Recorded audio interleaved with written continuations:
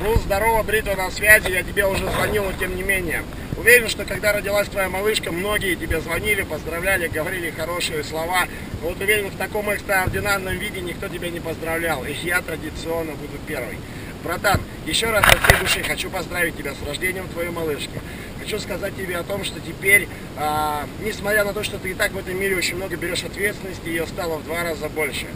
Я хочу тебе пожелать, чтобы рождение дочери не было отправ... а, а, конечной точкой, а стало лишь точка отправной для создания большого клана, сильного, мощного клана семьи Гафаровых, о которой будут говорить не только в России, но и в СНГ.